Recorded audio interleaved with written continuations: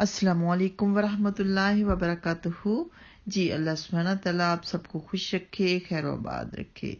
तो आज हम असहबा कराम के बारे में बयान करेंगे। पहला सवाल है कि सहाबी किसे कहते हैं? जवाब इसका यह है कि सहाबी उस शख्स को कहते हैं जिसने ईमान की हालत में नबी पाक सल्लल्लाहु अलैहि वसल्लम को देखा हो या आप सल्लल्लाहु अलैहि वसल्लम की खिदमत में हाजिर हुआ हो और ईमान के ऊपर उसकी वफात हुई हो। सवाल नंबर टू है कि सहाबी कितने हैं? जवाब इसका यह है कि हज़ारों हैं।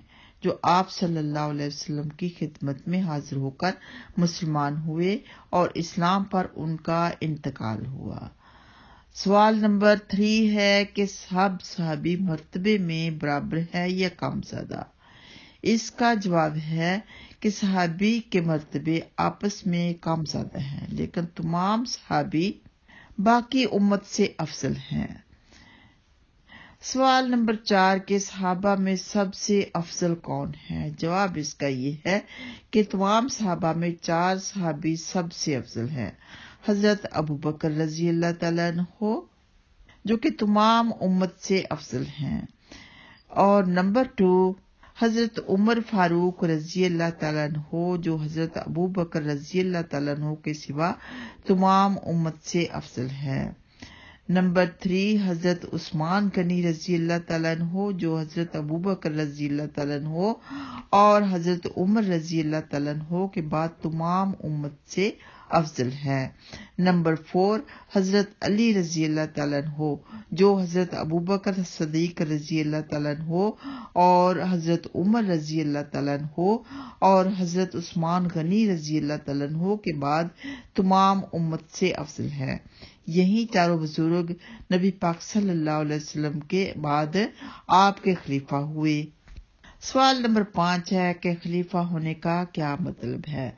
जवाब इसका ये है कि नबी पाक सल्लल्लाहु अलैहि वसल्लम के दुनिया से तशरीफ़ ले जाने के बाद दीन का काम संभालने और जो इंतज़ाम हजूर पाक सल्लल्लाहु अलैहि वसल्लम फरमाते थे, उन्हें कायम रखने में जो शख्स आप सल्लल्लाहु अलैहि वसल्लम का कायम मकाम हो, उसे खलीफा कहते हैं।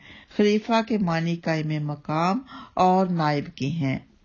यानी पूरे मुल्क पर उसकी हुकूमत हो, उसका हुक्म चलता हो और वो दीन का काम करे, दीन के मुताबिक सबको हुक्म दे, दीन के मुताबिक ही सब इंतज़ाम हों, उसे खलीफा कहते हैं।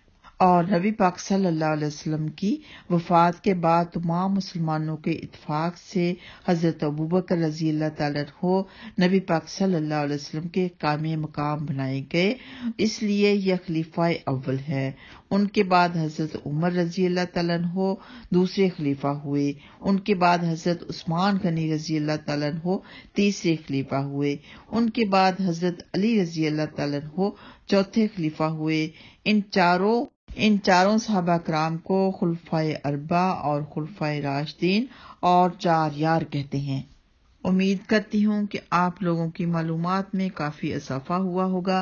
कुछ बातें ऐसी होती हैं कि नहीं पता होता, पता चल जाती हैं और कुछ बातें ऐसी होती हैं कि पता भी होता है लेकिन दिमाग में नहीं रहती। दोबारा सुनकर दिमाग में फिर से वो ताज़ा हो जाती हैं। तो अपने ईमान को ताज़ा करने के लिए जो कुछ मालूम भी होता है, उनको दोबारा सुना या पढ़ा जाए।